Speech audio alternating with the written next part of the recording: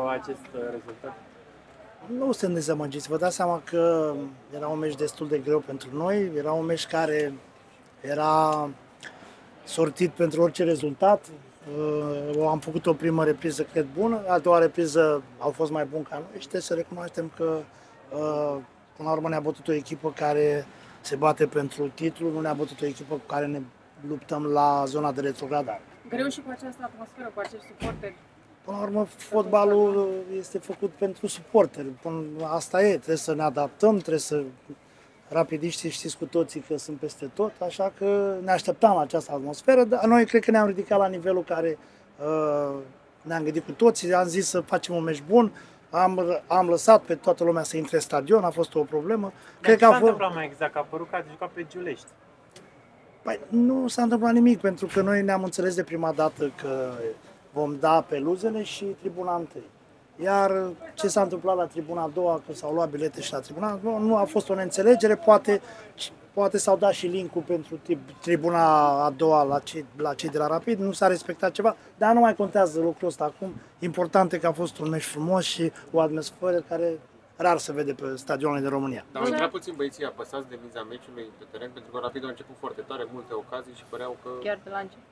Da, chiar de la început. Da, așa este, dar în același timp ne așteptam, pentru că Rapidul la fiecare meci au jucat primele 15 minute foarte bine și primele 15 minute din prima repriză și primele din a doua repriză. Deci ne așteptam la lucrul ăsta. Nu știu dacă au fost apăsați, dar gândiți-vă că și noi avem probleme, accidentați. Am, la, au fost tot așa probleme și cu coadă, la schimbare. Deci nu cred eu că a fost ceva ca să ne, ne depășim, pentru că așa am jucat și cu Dinamo, cu spectatorii spatele nostru, cum ar veni sub presiune, așa am jucat și cu FCSB. Nu cred că a fost o problemă suporterii rapidiști. Ați sperat la mai mult atunci când ați jucat egalat? Ne doream cu toții să facem un rezultat pozitiv, pentru că dacă ne uităm la ultimele întâlniri oficiale dintre noi și Rapid, Unirea Slobozia este pe plus. Vă îngrijorează situația de la echipă sau există perspective? Nu ne îngrijorează deloc, pentru că noi, noi ne luptăm cu echipele care se luptă la retrogradare, ne dorim să adunăm puncte cât mai multe. Dacă astăzi luăm un punct cu rapid, era un bonus pentru noi. Mergem la Craiova, jucăm la fel cum am jucat la toate meciurile în deplasare. Noi suntem obișnuiți să jucăm în deplasare tot timpul. Să sperăm că pe 2 octombrie vom da câștigătorul și nu se va mai face acea contestație care ne va amâna 45 de zile dacă se va Mai face. multe probleme aveți în afara fotbalului. Așa este, vă dați seama că ne, ne chinuim, ne dorim să ajungem să jucăm la Slobozia, dar în același timp legea este lege și trebuie să o respectăm și la fel la, ne dorim cu toții ca măcar uh, ianuarie, februarie să fim la Slobozia, dacă se respectă și nu se mai face contestație. Atmosfera în vestiar care e între Adi Mihalcea și jucători? Pentru că după plecarea lui Lazar s-au scris fel și fel de lucruri. Nu a fost nimic ce adevărat ce s-a scris cu Lazar. Lazar a venit la mine cu o zi înainte, a zis că vrea să rezileze pentru că el își dorește să fie liber de, liber de contract, că nu se mai simte uh, în regulă, că nu mai e fericit, asta a fost expresia lui. I-am zis să vină a doua zi să discutăm, am zis să liniștească, să ducă acasă și poate vine și...